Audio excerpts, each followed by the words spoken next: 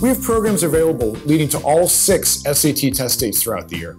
Some of the programs are held at our facility in Singapore, some are held at our school partners in Singapore and throughout the region, and we also run programs via Zoom for students from around the world.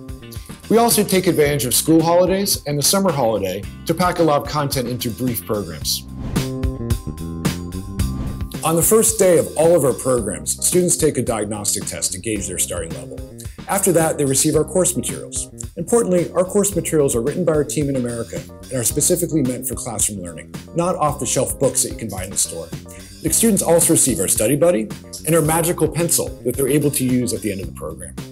After that, we cover the new techniques and strategies and how to approach the test in different ways. The analogy we always use, if you want to play tennis, you can just go out and hit the ball against a wall, but you're not really going to get much better. You want to hire a tennis coach who teaches you the new way to hit the ball against a wall, and that way you'll get better still.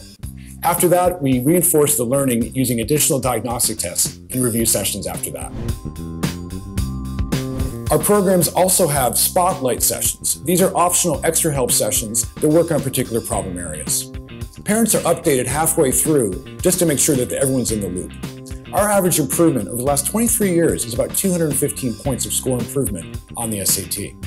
Thank you for making the smart choice with Testtakers. We've got your back.